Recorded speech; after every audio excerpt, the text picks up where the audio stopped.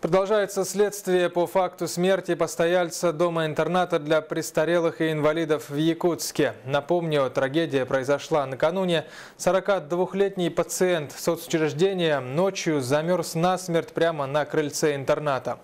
Как такое могло произойти? Подробности резонансного случая попытался выяснить Георгий Сергеев.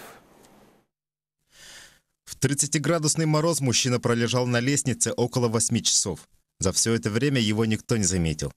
Только к 6 утра женщина, пришедшая на работу, подняла тревогу. Но к этому времени он уже погиб. По словам директора, мужчина поехал к своей знакомой, который часто уходил ночевать. В этот день он, как обычно, предупредил персонал. Но что-то изменило его планы, и он вернулся. Причин может быть многое. Он раньше э, постоянно уходил с ночевкой. И уходил, и э, на завтрашний день приходил.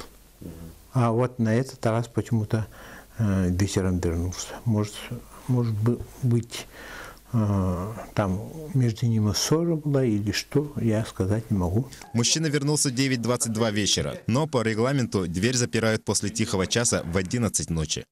Почему постоялец не мог войти, почему никто не увидел или не услышал его, остается только догадываться.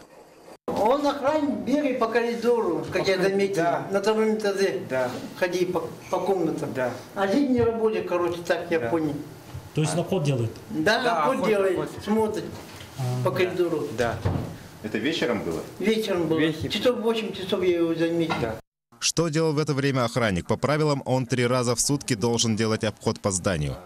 Мы стоим на том самом месте, где произошел инцидент. С этой стороны стоит камера, на котором все фиксировалось, а с этой стороны звонок, который охрана прекрасно слышит. Но неужели обход проходил два часа? Погибший пытался достучаться до полдвенадцатого ночи, но тщетно. Ну, под следствием этот охранник. Э, Следствие, что выяснить, э, я сказать не могу. Как, почему он за- закрыл или не закрыл. К сожалению, по словам руководства интерната, единственная родная тетя отказалась от организации похорон, мотивируя это отсутствием в семье мужчин и попросила заняться этим учреждению. Итоги расследования станут известны в ближайшее время. Сейчас они изучают кадры съемок камер видеонаблюдения и стоит вопрос, где был охранник все это время.